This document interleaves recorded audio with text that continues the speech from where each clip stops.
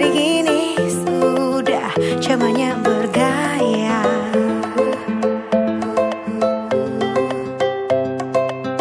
Ke sana kemari selalu berdanda